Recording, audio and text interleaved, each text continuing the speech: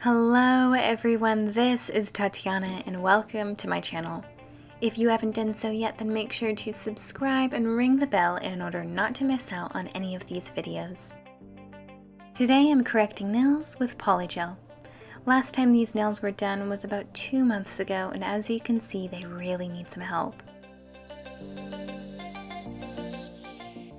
To take off the length, you definitely need to hold the top of the nail tightly where the lifting is.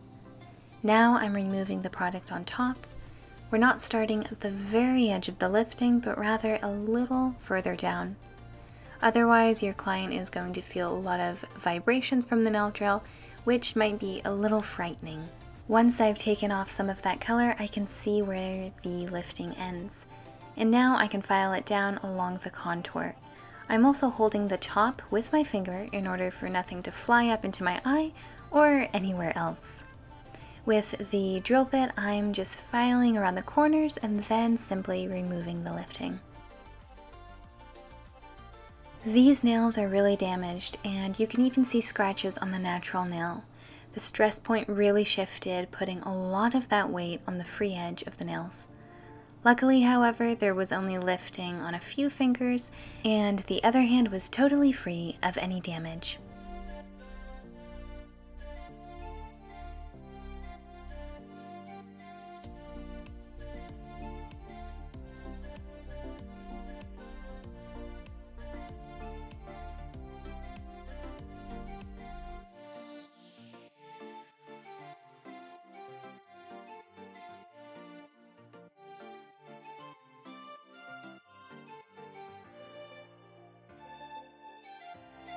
Now I'm filing down any of that natural shine on the nails. Uh, this is a really important part when you're working with polygel.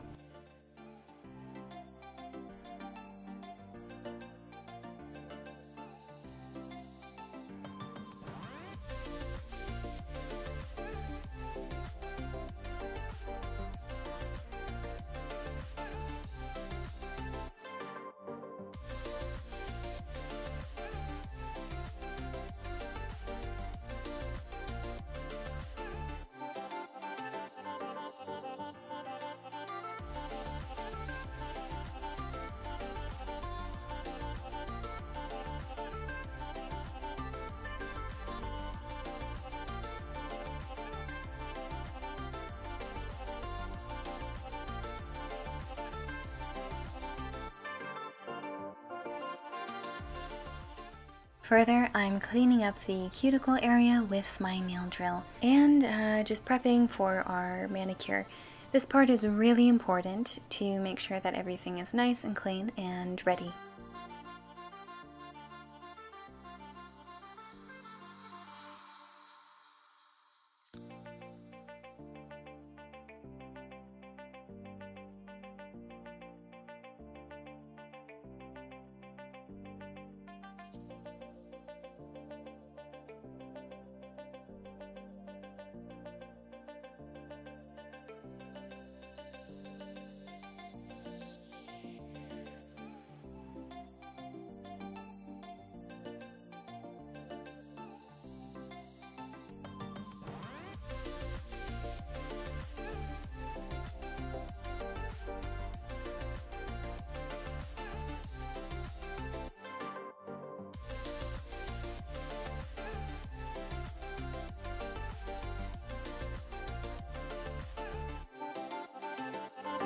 I'm cutting the cuticle off with a pair of scissors for each finger with the exception of the middle finger.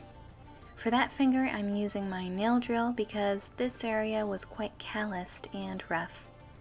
Using the scissors here could potentially harm your client. You also don't want to overdo it and clean up only the necessary area, being very gentle with the nail drill and then just going over everything by polishing it up.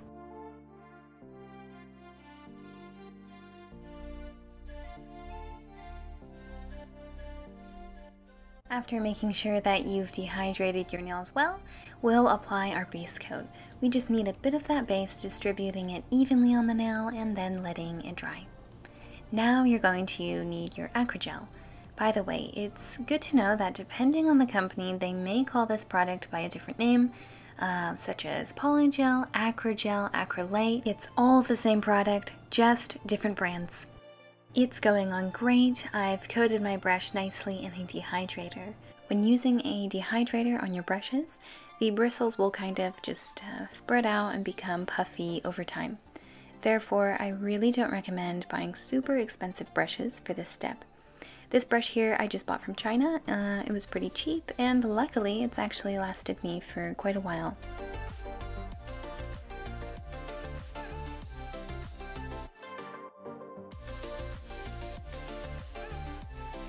The product is going on perfectly and smoothing out nicely, so I don't think we're going to have to file down much of it.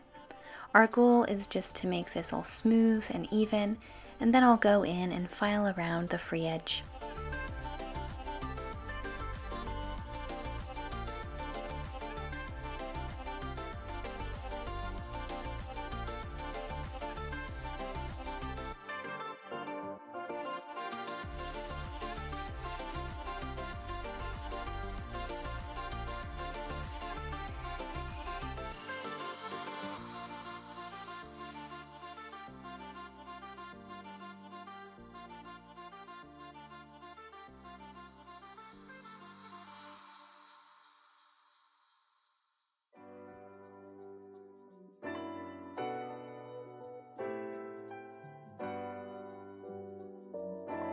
It may seem like I'm overdoing it here, but I 100% need to make sure that the cuticle is clean because if there's any overflow onto the cuticle, this will cause lifting within about a week. And I'm doing all of this with my nail drill in order not to tear up any of the fresh cuticle.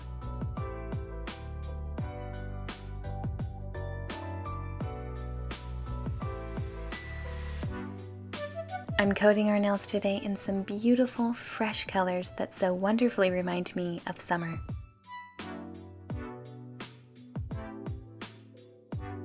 I'm working with this incredible brush by P&B to distribute the product near the cuticle.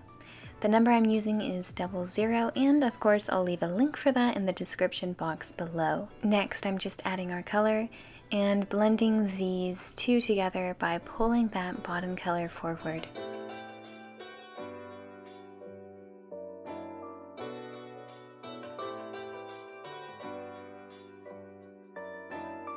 For the middle finger, I've chosen this pale pink as our backing because we're going to be adding glitter. Um, I'm coating this finger only once while coating the others twice.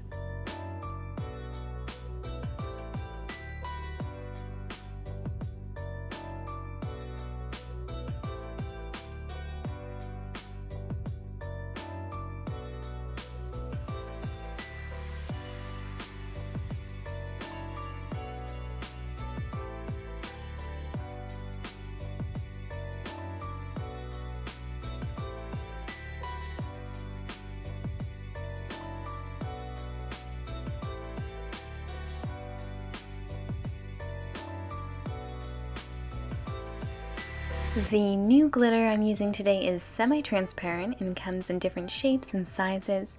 It's a cute blend of hearts, stars, and little circles. For those to stick on well, I'm coating that finger in a thin layer of base.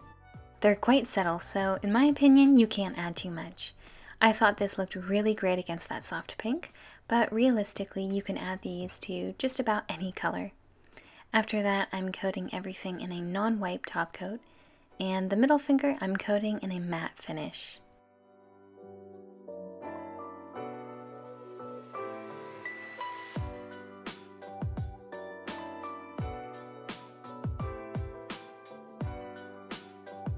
This look turned out beautiful. These colors are really bright, however this look is still soft.